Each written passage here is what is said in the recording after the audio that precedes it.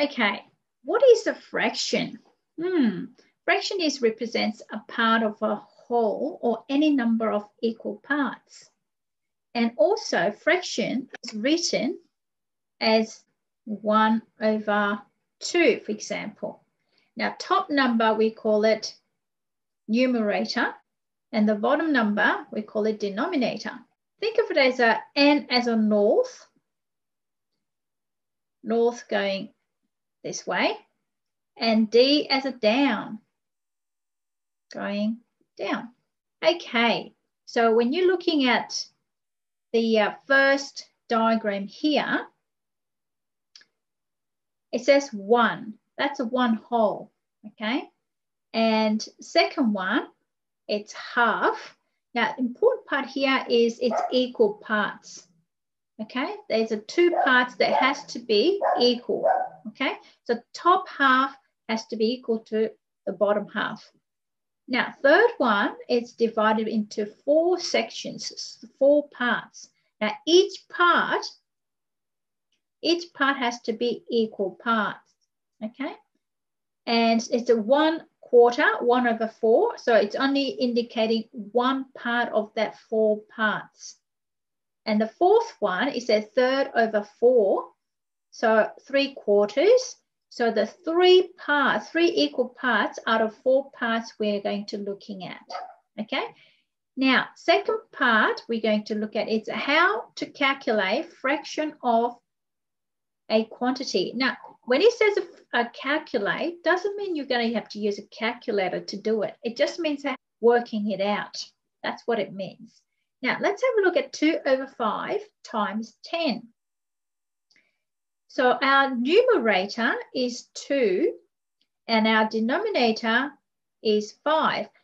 And we have some extra here that we didn't know about. That's a 10 here. So what does that really mean? It means two equal parts out of five equal parts. I would like to know, but there are 10 um, items in that equal parts. Hmm. Let's uh, use some pictures in this one. So I have a five equal sized cups here. One, two, three, four, five cups here. Okay, they're all the same. And then I have a 10 marbles. One, two, three, four, five, six, seven, eight, nine, ten. Okay. And what I'm interested in is how many marbles are there in two cups? In two cups. I know there's a five cups and I know there's a 10 marbles, but I'm not really interested in those yet. I just want to know how many marbles into cups.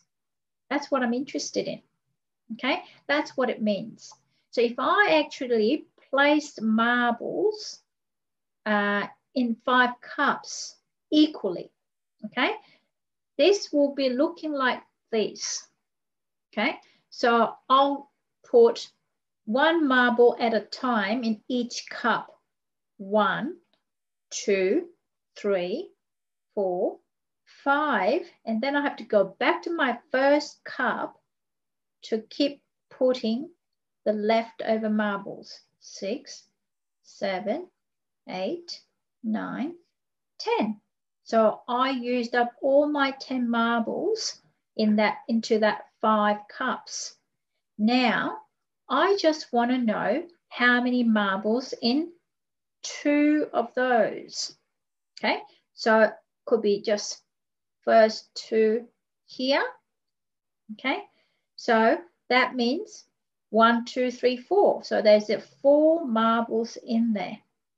Okay, so this means I would like to know how many marbles in two cups if there are five cups altogether. That's what it means. Okay.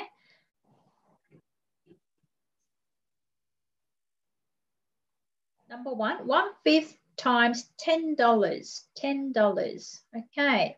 Hmm. One fifth. So what does that one fifth mean? One cup out of five cups. They're all the same size. I want to know how much in each cup if we had $10 to put it in.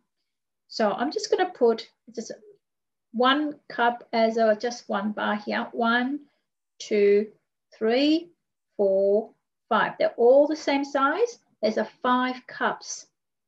And I'm going to put a coins. I've got 10 coins in there, $1 coin, okay? 10 of them, so it'll make $10.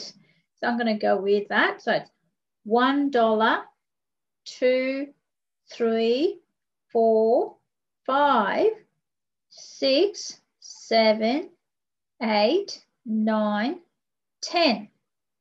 Okay, okay. So I have five cups and 10 coins. It's very similar to what we've been doing here, but instead of two cups, we are just looking at one cup, okay? So just one cup here. That's going to be $2. Okay, question one, I just put it into a more fun way of looking at it. There are five cups and we want to know how much in one cup. It's $2. So answer is $2. Now question two, we have five over eight, meaning there are eight same size cups, but we want to looking at just five of them. And there are 40 grams, we need to put it in equally into eight cups. And we want to know how many grams in those five cups. I just named those eight cups by numbering them. And I put grams, each one gram into each cup until I spent all my 40 grams. When I've done that, it shows there are five grams in each cup. Now, question is five out of eight. So we need to know how many grams are in those five cups. So when I just circled uh, five cups and five grams, that means five plus five plus five plus five plus five, which add up to 25. So my answer is 25 grams. Now there, are, there is an easier way of doing it. After you understanding all these, we could just uh, basically calculate without drawing all these cups or little bars to, to calculate. I mean, it's all okay if number is a smaller, but what if I had to do eight cups with like 100 marbles or 150 grams? Can't just sit there and draw cups and then put the dots in it. It's going to take a while. It's not a bad idea doing it when you're trying to understand the concept, but it's hard to do it all the time. So, next time, if we want to do 5 over 8 times 40 without drawing cups or bars or little dots, we just want to do some mathematical calculation. So I'm going to show you how to do some simple ones here. I have 1 over 5 times $10. You could think of as there are five people and I want to know how much will one person get if I have to separate or divide it equally into five? So that means 5, 1 over 5 times, I could just make it a 10 over 1. I could make it that as a two fractions. If I do that, it would be a lot easier because I just have to times numerators together and denominators together. So it'll be 1 times 10 and 5 times 1. And that'll equal to 10 over 5. And they're both 10 and 5 are family of 5. So I could simplify that because there's how many 5's going to 5? Once. How many 5's going to 10? Twice. So it'll be 2 over 1, and we do not worry about over 1. So that'll be just 2. And don't forget the unit, $2. Now quickly, if I do 2 over 5 times $15, for example.